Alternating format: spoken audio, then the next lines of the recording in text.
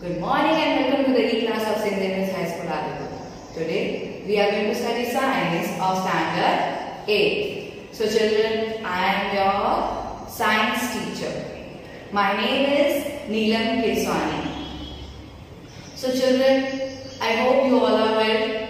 Okay? And let us study about the first chapter of this session of the science that is crop production and its management. So children, crop production and its management. What we will study in this chapter that is what is crop. हम किस plant को crop में consider करते हैं okay then what type of production and how this production is happening okay in which season is it, it is happening. That we, will, we are going to study. Then how the now the crops are formed okay? They have been grown. Now how these will be managed and supplied to the consumer okay children? So in this chapter step by step we are going to study about the crop production and management. So children, plants can make their own food by themselves. Can we make our food by ourselves? No. In our last standard, okay, that is 7th standard, first chapter, we have studied about the photosynthesis. We all know that how the process of photosynthesis happens. In that, carbon dioxide, water, in the presence of sunlight and chlorophyll, the photosynthesis happens and they produces their own food. So children, due to this only they are known as autotrophs. Okay, so these plants they are making their own food. Animals including humans cannot make their own food. From the food what we get? We get energy which is utilized by organism for carrying out their various body functions such as digestion, respiration and excretion etc. So in this way the food is most important. So children then we have to study in this chapter that what are the processes a farmer does to do the production of any crop. So let us see the 1.1 or first topic of this chapter that is agricultural practices. In our earlier days that is 10,000 BCE okay nomadic where people were there, they were used to roam here and there and they were used to eat the plants, leaves, uh, their fruits, twigs. In this way, they were wandering in group from one place to another in search of food and shelter. They ate raw fruits, vegetables and started hunting animals for food. Okay. Later, they could cultivate land and produce rice, wheat and other food crops. So in this way, by roaming from one place to another, this they why they were roaming for the food and shelter.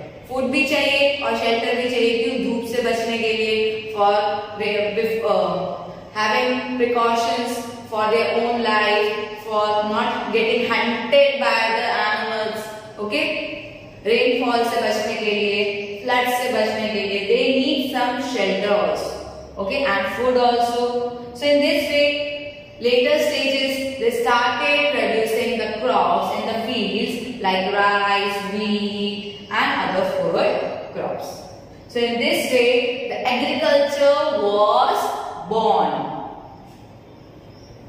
so let see agricultural practice when plants of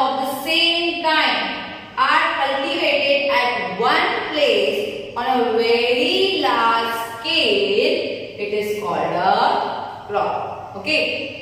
कोई भी एक single plant when it is grown on a very large scale, only that variety of plant when it is grown on a very large scale, okay, at the same place. Okay, thoda idhar, thoda udhar, not that way. The whole field should be of that wheat or bajra, etc. So, when the plant of the same kind are cultivated at one place on a large scale, it is called a crop. Here you can see the wheat crop. Okay, it is having a plenty of crop cultivated there on a very large scale and here you can see only the wheat. No any other crop is grown over here. So that field containing that particular plant in that big large area then and then only that will be considered as a crop. For example, crop of wheat means that all the plants grown in a field are that of wheat. So crops are classified on the basis of the seasons in which they grow. In our India there are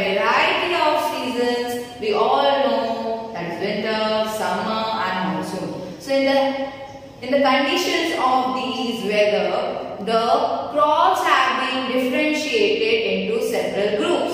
The two major groups are kharif crops and rabi crops. Okay, so let us see. India is a vast country.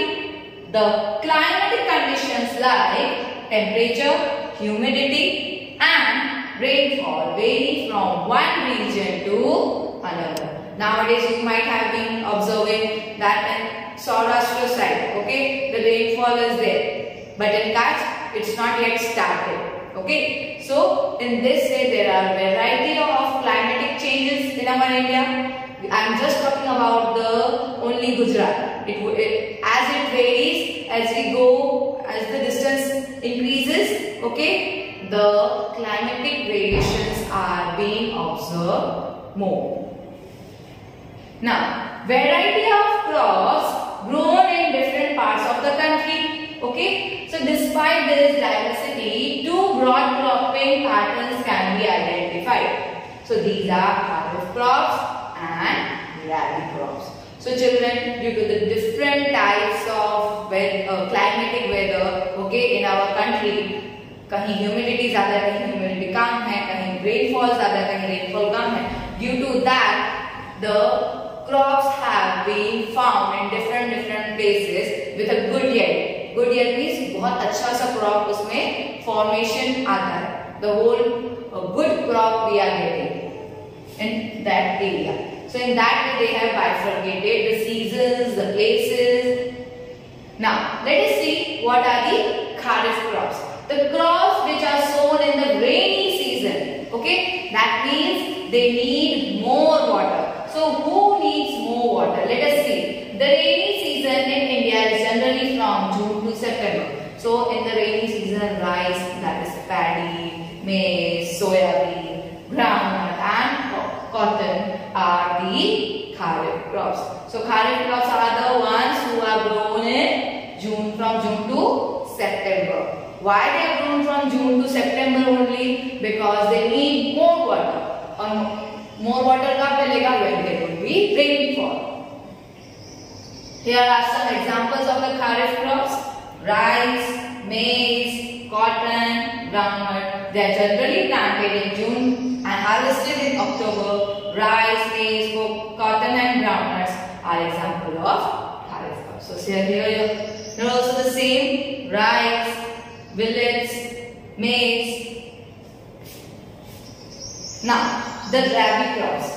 The crops grown in the winter season are that is from October to March are called rabi crops.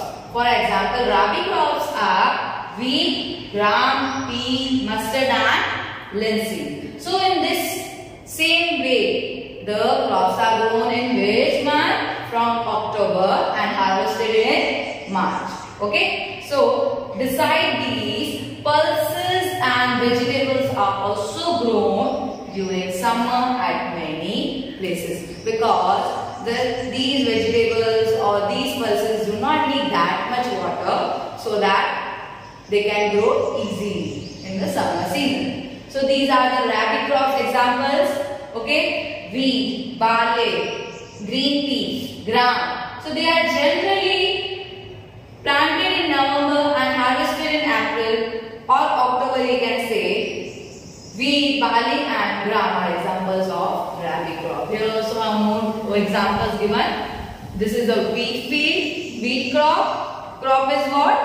When there is a large amount of same kind of plant grown at the same place. Okay? Wheat, oat, chickpea, mustard, almond and broccoli.